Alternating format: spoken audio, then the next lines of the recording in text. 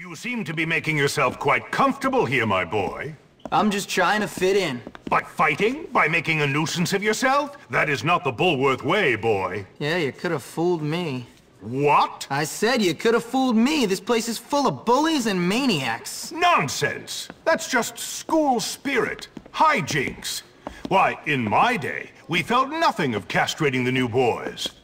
I want you to stop this nonsense, Hopkins. I want you to behave yourself. You might learn something. Fine. Can I go now, sir? On your way. Hey, I saw you sucking up to Crabblesnitch. What? Shut up. Screw you, new kid. This is what we do to teachers' pets around here. You better not. Ow! Come here, you little... Yeah, come and get me.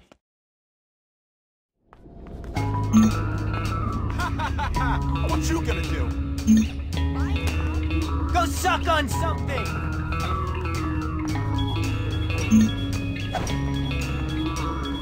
can strangle you with the towel. You suck. I haven't. You know, despite all the jerks. I saw it. He ran towards the fountain.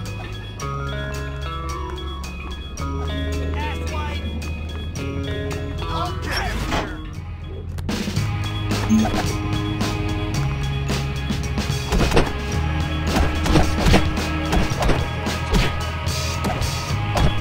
What's I'll the matter? every Can't bone in your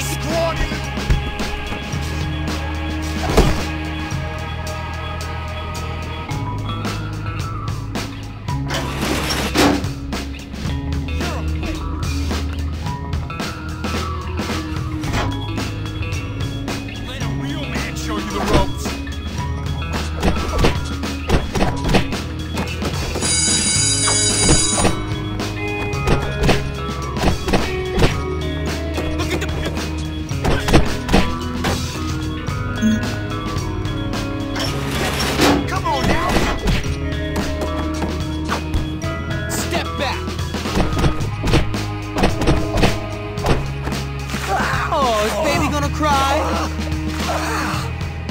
Well, now I'm clear where we stand. Let's teach this kid a lesson. How about two black eyes?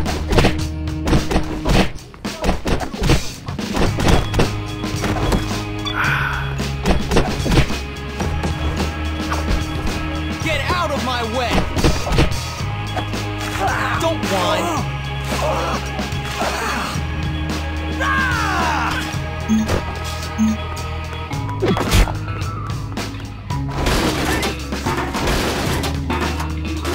Anyone want a piece? What are you, crazy or something? You can't reach me up here, moron.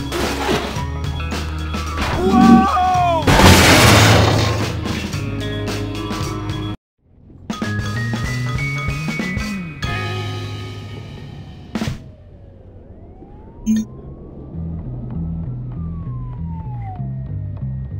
Mm-hmm.